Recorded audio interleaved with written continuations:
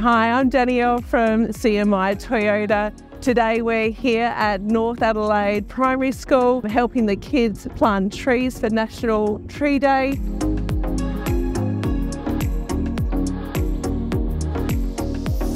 We've had groups of students planting new plants and trees, creating beautiful fairy gardens, weeding and cleaning up the school's garden bed, and taking part in the nature activity around the yard.